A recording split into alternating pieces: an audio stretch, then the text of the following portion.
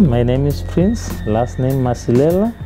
I'm coming from Fortress in Mpumalanga, but home is Langelop down there in Nelspruit. I am Samke Tabela. I work for Eskom as an electrical technician.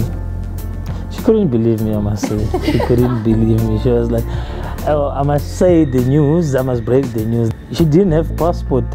then firstly I said to her, hey, get your passport as quickly as possible. And if you get it, then I might take you to LA. That's how I broke the news to say, if you quickly get your passport, I might, I might take you to LA. That's why she thought maybe I'm like uh, joking to say she must just get, get passport.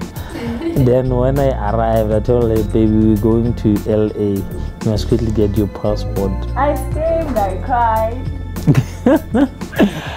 I actually never thought I'll ever win a trip to overseas. Never thought of that from a bank. Very, very, very much excited. We've just started today to practice things like water. yeah, so we're gonna try and fine tune the accent.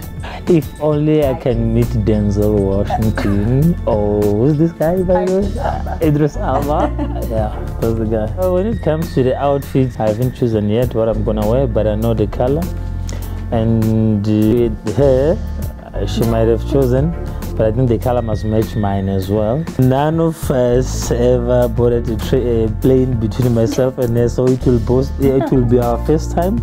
I'm trying to imagine as to how it feels to take a plane for the first time, but yeah, I think we're gonna enjoy it. For as long as she's on my side, we'll, we'll enjoy it, both of us. One of the memories that me and her will always share as long as we're together.